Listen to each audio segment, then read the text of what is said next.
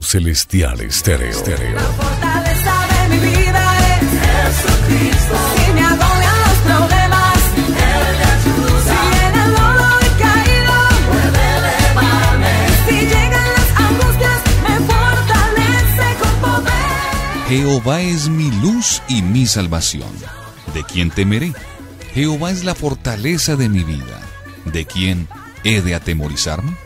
Esto dice el Salmo capítulo 27, verso del 1 al 3. Mis hermanos, mis amigos, bienvenidos al tiempo devocional. Les habla Héctor Iván Alarcón. Usted está en sintonía de Celestial Estéreo. Gracias, mil y mil gracias a todas las personas que nos han apoyado durante este año que está terminando. El devocional para el día de hoy se llama Jehová es la fortaleza de mi vida. Bienvenidos.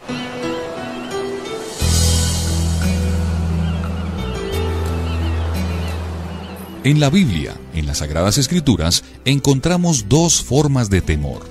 El uno es el temor del Señor, el cual es beneficioso y debe ser avivado, pues es un temor reverencial a Dios. Es un reconocimiento de todo lo que Él es. El temor del Señor conlleva muchas bendiciones. En Proverbios capítulo 19, el verso 23 dice, El temor de Jehová es para vida y con él vivirá lleno de reposo el hombre. No será visitado del mal. Esa es una clase de temor. No obstante, el segundo tipo de temor mencionado en la Biblia es perjudicial y debe ser superado, pues no es beneficioso en lo absoluto. Ese es el espíritu de cobardía, mencionado en 2 de Timoteo capítulo 1, el verso 7, donde dice la Biblia, porque no nos ha dado Dios espíritu de cobardía, en otras dice de temor, sino de amor y de dominio propio.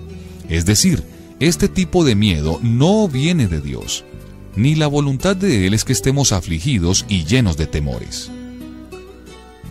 Cuenta la Biblia que el éxito de David en la guerra contra los filisteos provocó la envidia del rey Saúl.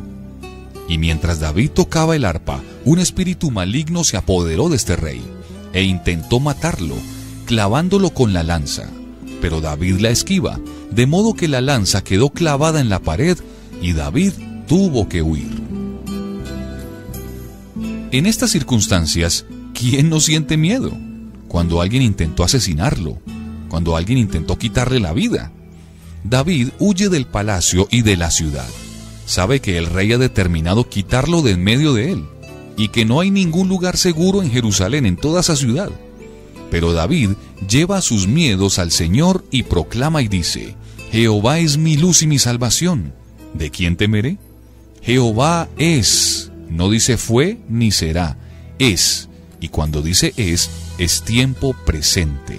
Hoy el Señor es la fortaleza de tu vida.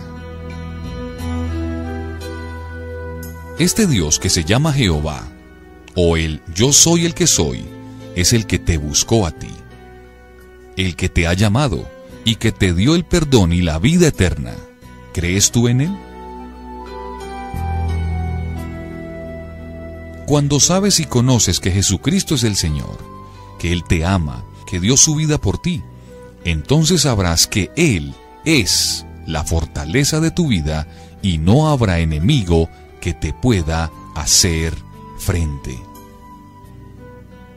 En el programa de la mañana, donde oramos por las necesidades de los oyentes todos los días a las 7 de la mañana, llegan mensajes de personas que dicen, hermano, ore por mí, que me están haciendo brujería. Oren por mí, que creo que alguien me está haciendo el mal, o me quiere hacer un maleficio, o quieren atentar contra mi vida. Hoy quiero decirte que te apropies del Salmo 27.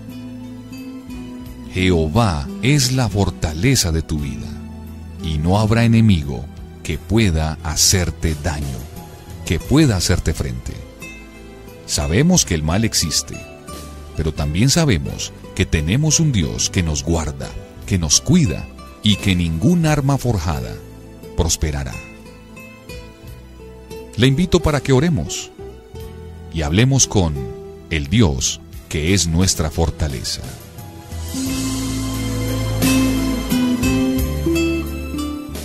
Señor Jesús y Padre de la Gloria, yo te doy gracias en este día por el privilegio que me das de estar una vez más en tu presencia. Señor, a veces he tenido miedos profundos, temores reales y algunos imaginarios, que han sido un tormento a mi existir, que han sido un tormento para mi vida.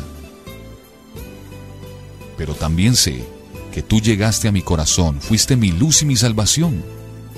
Hoy me levanto en victoria y desecho mis temores. Y quiero proclamar a viva voz que aunque se levante guerra contra mí, yo estaré confiado.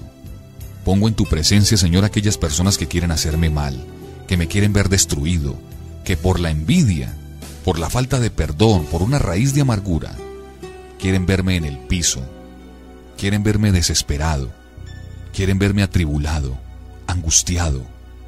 No dejes, Señor, que nada ni nadie pueda destruirme y pueda dañarme, porque tú eres la fortaleza de mi vida. En el nombre poderoso de Jesús oramos. Amén y amén. Creer en ti cuando ya no queda nada. Cuando un rincón de tu alma está llorando de dolor. Creer en ti cuando has perdido el camino y solo ves tu destino a lo lejos para ti. Creer en ti es más que suficiente cuando tu vida y tu mente están ancladas en el temor. Celestial Estéreo. Cuando se creen los milagros no hay espacio para dudas. Cuando se creen los milagros se repone el corazón. Cuando se creen los milagros no hace falta tener vista.